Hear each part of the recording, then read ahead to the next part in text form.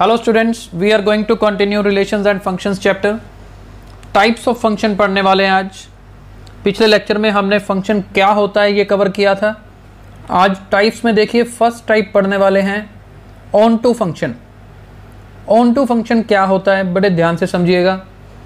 सबसे पहले डेफिनेशन देखिए। A function F from X to Y is set to be onto और surjective यानी कि ऑन टू फ़ंक्शन का दूसरा नाम क्या है? सरजेक्टिव भी बोलते हैं। If and only if each element in Y is the image of at least one element in X ये देखिए डायग्राम में, एक तरफ़ एक्स एक तरफ़ वाई ठीक है? ये फ़ंक्शन कौन सा है? जैसा हमने पिछले लेक्चर में सीखा था, y is equal to F X कहता वाई सेट का हर एलिमेंट किसी ना किसी एक्स के एलिमेंट की इमेज ज़रूर होना चाहिए। तब फ़ंक्शन ऑन टू होता है। मतलब क्या हुआ? मतलब ये कि ये जो वाई सेट में एलिमेंट्स हैं ना, ये एलिमेंट्स कोई भी आपको खाली नज़र नहीं आना चाहिए, अगर एक तरीके से समझे तो। यानी कि वाई सेट के जितने भी एलिमेंट्स हैं, वो किसी ना किसी एक्स के एलिमेंट के साथ रिलेटेड होने चाहिए। यानी कि कोई ना कोई जो वाई के एलिमेंट हैं, किसी ना किसी एक्स के एलिमेंट की इमेज होने चाहिए। ठीक है तो याद कैसे रहेगा? यहाँ पे आपका कोई भी एलिमेंट खाली ना मिले बस। यानी कि अगर ये यहाँ पर एक और होता और वो किसी की इमेज ना होता तो फिर ये ऑन टू नहीं होना था। ये क्या बन जाता? फिर इन टू बन जाता। क्योंकि जो फ़ंक्शन ऑन टू नहीं होता, वो क्या होता है? इन टू होता है। तो मैं इसको यहाँ से हटा रहा हूँ और हमने क्या समझना है और क्या याद रखना है? कि अगर सारे एलिमेंट्स वाई के किसी ना किसी एलिमेंट की इमेज हैं तो मतलब फ़ंक्शन क्या है जी? ऑन टू फ़ंक्शन है right let's move ahead next देखिए one one function a function F from X to Y is set to be one one और इंजेक्टिव अब देखिए वन वन का दूसरा नाम इंजेक्टिव याद रखना है।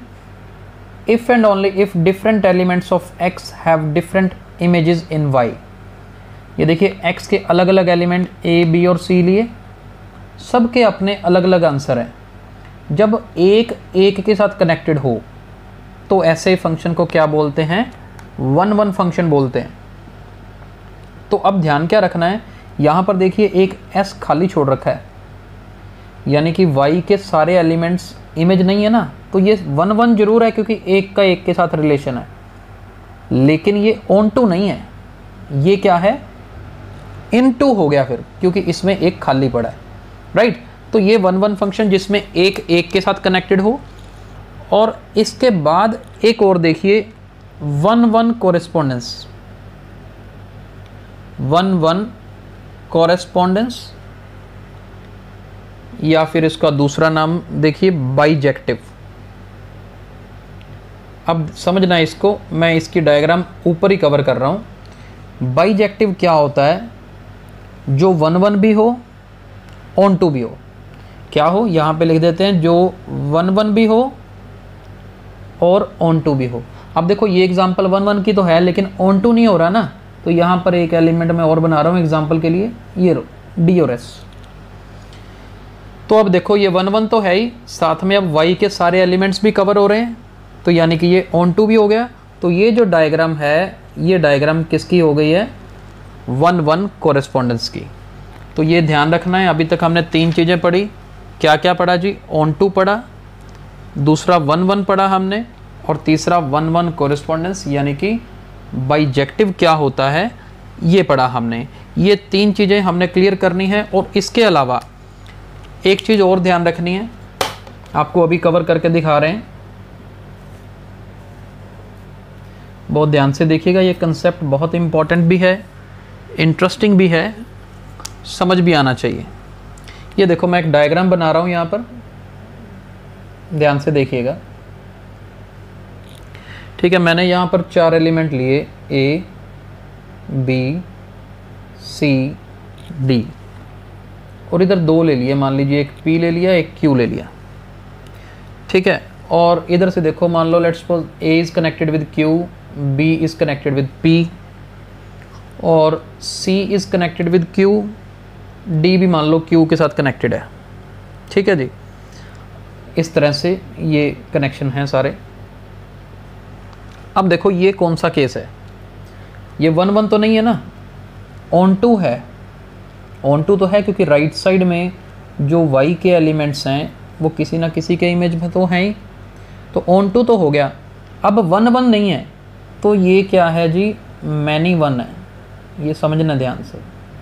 मैनी वन और ऑन टू ये दोनों हैं। मैनी मतलब यहाँ के कई एलिमेंट इधर एक के साथ कनेक्टेड हैं। जैसे ए सी और डी यहाँ पर क्यू से कनेक्टेड है तो मैनी यहाँ पर वन यहाँ पर। तो मैनी वन और साथ में क्या है? ऑन टू यानी एक में ही मैनी वन भी है और साथ में ऑन टू भी है। अब ज़रूरी नहीं कि ऑन टू हो हमेशा जब मैनी वन हो। ऐसा भी हो सकता था। ये देखिए, मान लो यहाँ पर ए बी सी तीन है। यहाँ पर एक पी है मेरे पास और एक क्यू है। मान लो दो ले लेते हैं, एक पी एक क्यू ये तीनों ही पी के साथ कनेक्टेड है, मान लो। तो बन गया ना मैनी वन लेकिन ऑन टू नहीं है, फिर ये कौन सा है? इन टू है। यानी कि मैनी वन इन टू का केस हो गया। तो ये छोटी छोटी चीज़ें हैं जो आपने याद रखनी है। आगे अगले नेक्स्ट लेक्चर में हम एक्सरसाइज शुरू करेंगे, जिसमें वन वन या फिर ऑन टू प्रूव करना सीखेंगे। आज इतना याद रखिए कि वन वन क्या होता है ऑन टू क्या होता है।